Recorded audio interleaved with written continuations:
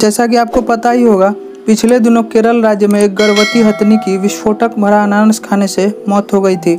इस घटना ने एक बार फिर इंसानियत को शर्मसार कर दिया है। अब इस घटना पर बॉलीवुड सितारों और साथी क्रिकेटरों ने अपनी नाराज़गी ज़ाहिर की है।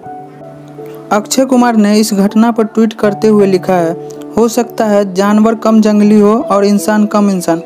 उस हथनी के साथ जो हुआ, वह दिल दहला देने वाला, अमानवीय और अस्वीकार्य है। दोषियों के खिलाफ सख्त कार्रवाई की जानी चाहिए।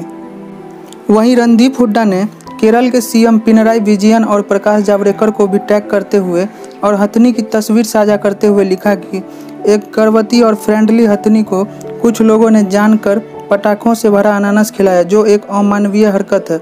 ये पूरी तरह से अस्वीकार्य है और अपराधियों के खिलाफ सख्त कार्रवाई की जानी चाहिए। इधर बॉलीवुड स्टार कार्तिक आर्यन ने भी हाथी की तस्वीर साझा करते हुए लिखा शर्मिंदा आत्मा को शांति मिले।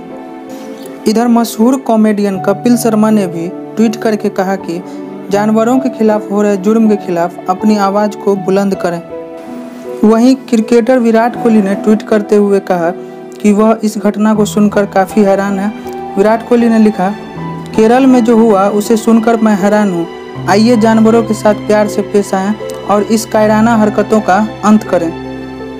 टीम इंडिया के विकेट कीपर ऋषभ पंत भी इस घटना को सुनकर सिहर उठे। उन्होंने कहा कि आखिर कोई इतना क्रूर कैसे हो सकता है? पंत ने ट्वीट करके लिखा, केरल में गर्भवती हाथी की खबर को पढ़कर दिल टूट गया। भावुक हूँ और क्रोधित भी हूँ।